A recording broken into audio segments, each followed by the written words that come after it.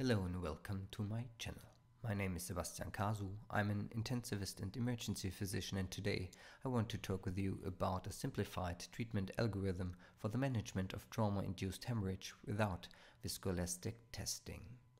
Please note my conflicts of interest. First of all, I have to say that I'm convinced that point of care guided coagulation management is state of the art we get fast the main informations about clotting time, clotting formation, clot stability depending on various influencing factors and when we use all given possibilities, we can get good informations about platelet function. This results in a complete change of the coagulation management. In my opinion, you can see these changes very good in this study. Stein and colleagues showed the differences in transfusion of allogenic blood products and outcome between two cohorts. A standard care group before implementing point of care guided management and a goal directed coagulation management group. They observed not only a reduction of given blood products like packed red blood cells and plasma, but a kind of optimization of coagulation management in the first 24 hours.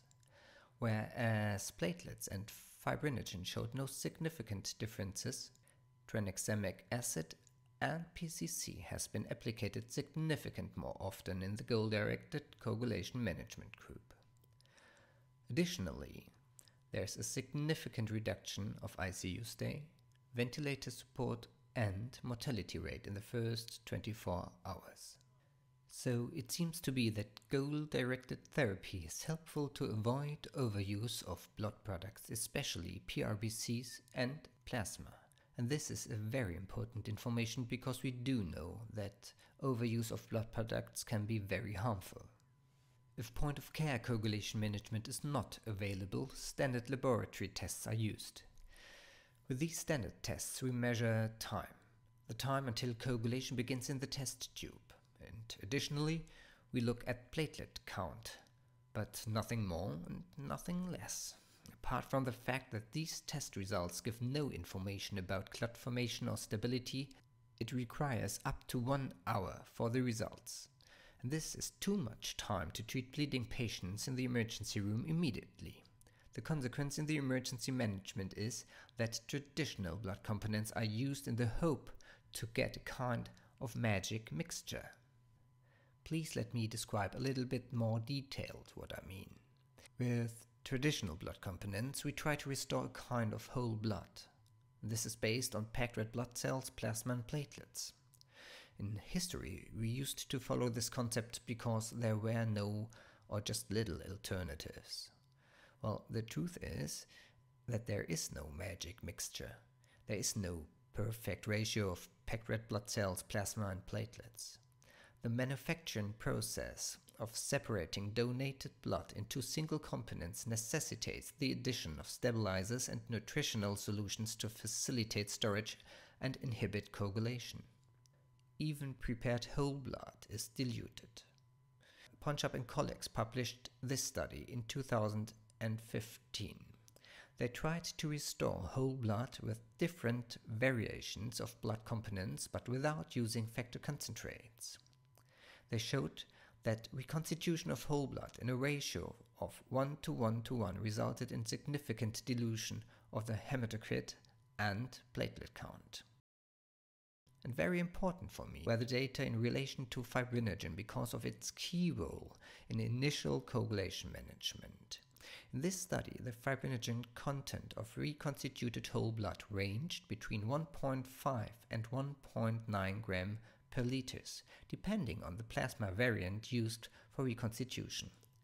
This means that the observed fibrinogen content of the therapeutic is already within the limits of the threshold values for fibrinogen supplementation for bleeding patients as suggested by recent European guidelines. And it's impossible to reach the recommended upper fibrinogen thresholds of 2 gram per liters by transfusion of reconstituted whole blood alone if plasma fibrinogen concentration in the patient is already low. In addition, if the plasma fibrinogen of our patient is high, transfusion of reconstituted blood might result in further dilution. In conclusion, reconstitution of whole blood in a 1 to 1 to 1 ratio resulted in significant dilution of the hematocrit and platelet count. These results are supported by data from Khan and colleagues. In this international prospective cohort study of bleeding trauma patients at three trauma centers, a blood sample was drawn immediately on arrival and, after 4, 8, and 12 packed red blood cell transfusions. Fresh frozen plasma, platelet, and cryoprecipitate use was recorded during these intervals. On admission, 40% of the patients were coagulopathic. This increased to nearly 60% after 4 PRBCs and to 80% after 8 PRBCs. Early replacement of increasing doses of plasma and average doses of other blood component therapy had little effect on the deranged ROTEM coagulation parameters or coagulation factor concentration during the acute phase of care. On average, all functional coagulation parameters and procoagulant factor concentrates deteriorated during hemorrhage and there was no clear benefit to high dose fresh frozen plasma strategy in any parameter. Only combined high dose plasma, cryo, and platelet therapy with a high total fibrinogen load appeared to produce a consistent improvement in coagulation. We not only know that transfusion of fresh frozen plasma for mild abnormalities of coagulation values fails to correct the prothrombin time in 99% of patients, but we also know that we need high doses of plasma to effect a significant increment of coagulation factors. This study assessed the effect on coagulation tests of FFP given in smaller doses compared with higher doses in critical ill patients. Group 1 received approximately 12 ml per kilogram and Group 2 30 ml per kilogram fresh frozen plasma prothrombin time, activated partial thromboplastin time, and factors 1 to 12 were measured before and after plasma infusion. Factor levels of 30 units or only 1 gram per liters for fibrinogen were considered hemostatic. What we saw was that high doses of plasma were needed to get a significant increment of coagulation factors. Or, in other words, we need 3 liters of plasma to get a significant increment of coagulation factors in a bleeding patient weighing 100 kg. And beside the fact that these high volumes are associated with a lot of side effects, we do have a big time matter. PROMPT was a prospective multi-center observational cohort study conducted at 10 level 1 trauma centers in the United States. They hypothesized that early transfusion of plasma and platelets in higher ratios would be associated with decreased in hospital mortality in bleeding patients. The data collection was begun upon arrival in the emergency department and patients were included if they required the highest level of trauma activation and were transfused at least one unit of PRBCs in the first six hours after admission. For me, one of the most interesting results was the time between admission and the beginning of plasma transfusion. Therefore, they needed in median 69 minutes in this study. Too much time if the patient really has a relevant bleeding issue. Okay, so in conclusion, there is no magic mixture, no perfect ratio of single blood components to restore whole blood. And we do know that point of care guided coagulation management could avoid an overuse of blood products, what is very important because we do know that blood products themselves could be harmful. Standard laboratory tests need too much time for an initial coagulation management, and it seems to be that there are little experiences and data in concentrate based management without point of care testing, and this is our dilemma. Of course, there's no perfect solution, and point of care guided coagulation management should be used, there's no doubt. However, hospitals and medical staff in the emergency department without the possibility of point of care testing are interested in effective blood and coagulation management too. For me, one of the main principles to support a best possible care is to provide a good standard protocol. Such protocols should be immediately and easy to use by everyone, even the youngest colleagues in the night shift at 4 am, and they should include fast and objective criteria for the management. They should include concentrate based management because we do know that there's no magic mixture, and last but not least, it should be adapted to the individual possibilities of the hospital where the protocol is provided. The protocol I want to show you today has a simple structure, is colored, very simple and was made to be understood and used by everyone in the emergency department. It goes into the basics, involves aspects of hyperfibrinolysis, supports a fast substitution of factor concentrates and addresses the case of massive blood transfusion.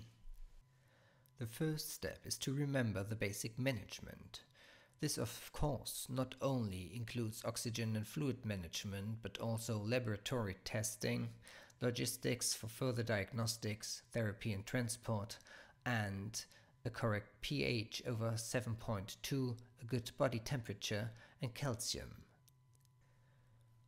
The next step is to remember the medical team to ask some really essential questions. Is there an antidote therapy possible? Do we know anything about the patient's medication, like antiplatelet agents or an oral anticoagulation? Do we note an increased bleeding tendency? If so, we should draw consequences immediately. We are also remembered to ask ourselves if the patient already got tranexamic acid. In case of massive bleeding following trauma, TXA could be a life-saving drug. If the patient did not get tranexamic acid, it should be provided within the very first three hours after trauma.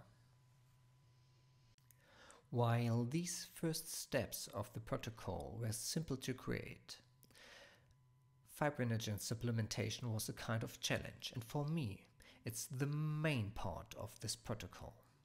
Let me explain why I had my trouble with this. Very often you can read that fibrinogen should be given independence of the patient's weight, like 30 to 40 or 50 milligram per kilogram. But I do have my problems with that. And I want to tell you why. Imagine I have a colleague. He is as tall as I am, but he weighs twice as much as I do.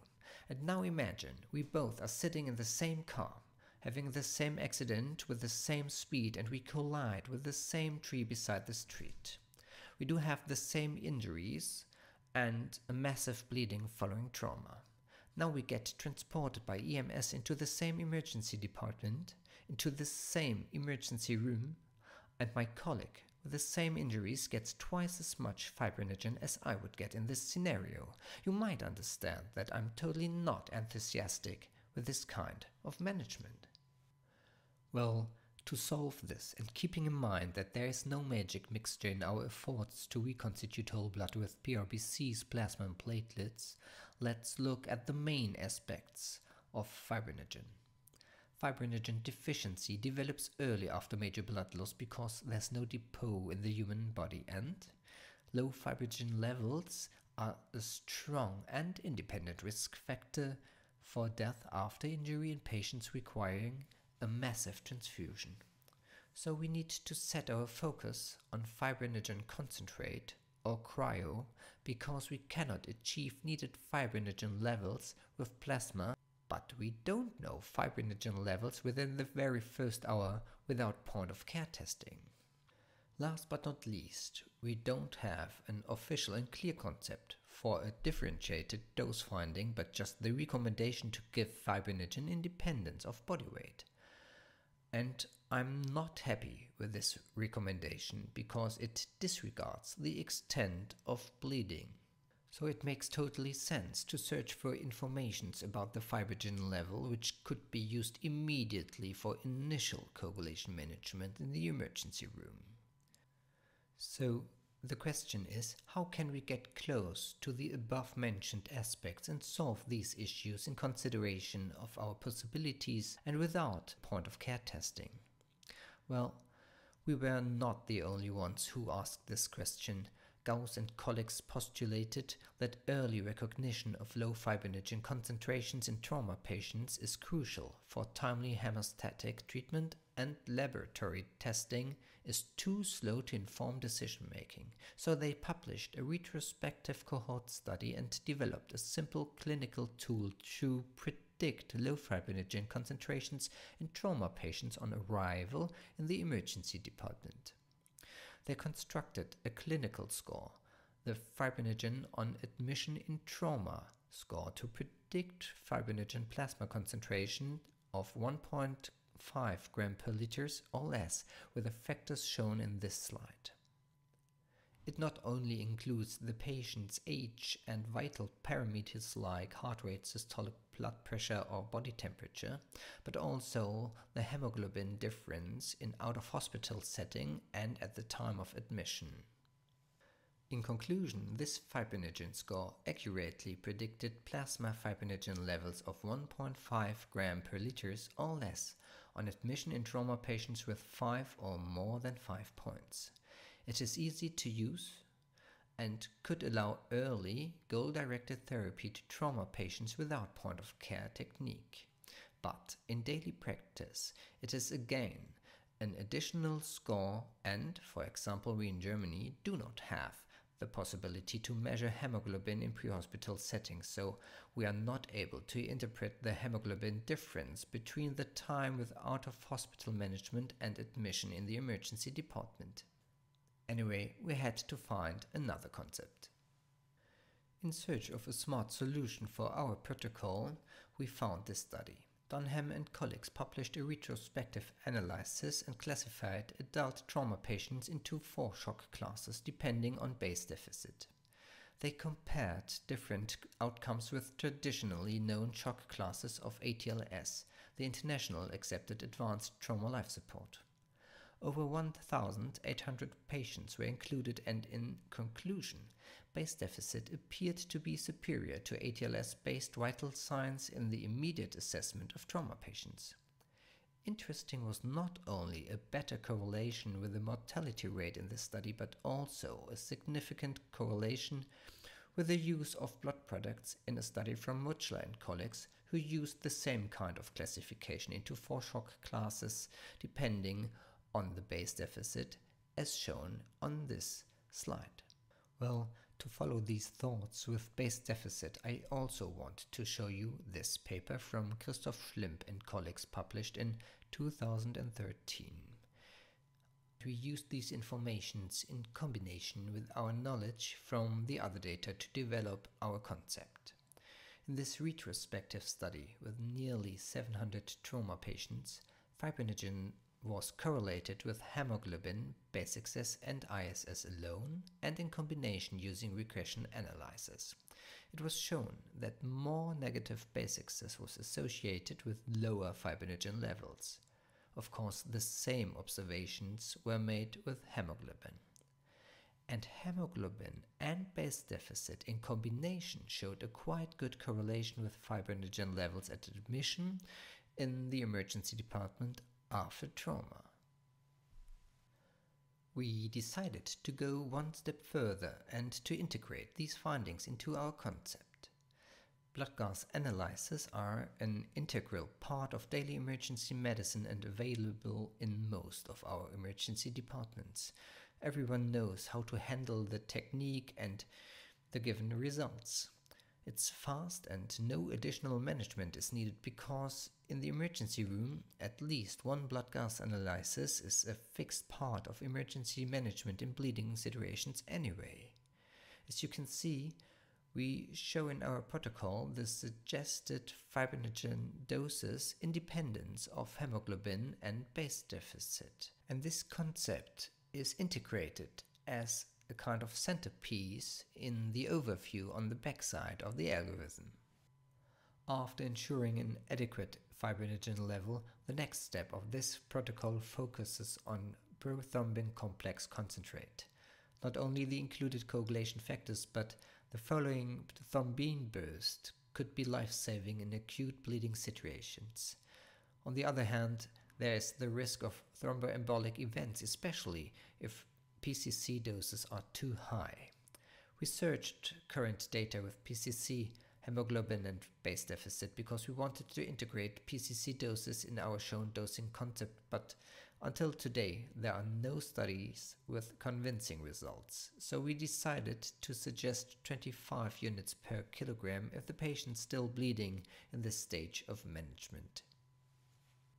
Well, until now, the team using this protocol ensured the basics. They maintained a good pH, a good body temperature and calcium. They included the medical history and current therapeutic options, considered tranexamic acid and also ensured a fast and consequent concentrate based coagulation management with fibrinogen and PCC as shown in the last minutes. These basics are fundamental if the patient is still bleeding and a massive transfusion is indicated.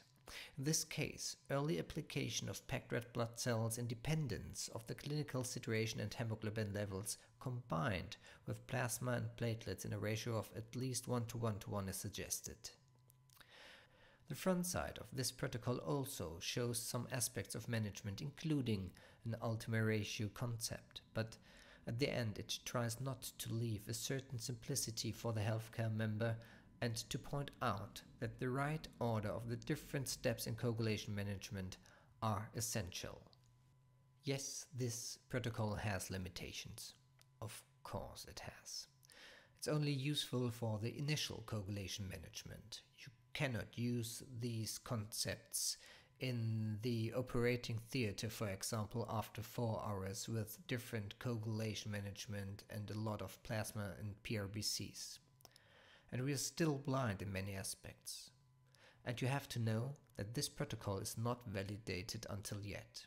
However, using this protocol in the treatment of bleeding patients has a lot of advantages. Because of its simplicity, it is helpful for everyone in the emergency room basis for the procedure are different European guidelines and it's better to use existing and helpful studies than to guess the right doses of fibrinogen or just to reduce this decision on the patient's body weight without including relevant aspects like the extent of trauma and shock. And considering not only the presented data but all knowledge in this field, it is not surprising that the measurement of initial hemoglobin is recommended as indicator for severe bleeding and base deficit measurements should be used to estimate the extent of bleeding. With this algorithm, there's a bridge. A bridge between current scientific knowledge and the real life in hospitals which are involved in the initial treatment of bleeding patients, but without the availability of point of care testing. So, in conclusion, standard procedures are not only recommended but also helpful if these protocols are established under consideration of local possibilities of material and staff. An initial concentrate based management without point of care coagulation testing is possible with blood gas analysis, which is available in most emergency departments and used by everyone with a great routine and fast results. The combination between this basis for management and a brave simplicity in your algorithm can be useful and help even the youngest colleagues at night. Well, if you enjoyed this video, please don't forget to leave a like and in case of any further questions or comments, please write them right below. I hope for further discussions. See ya.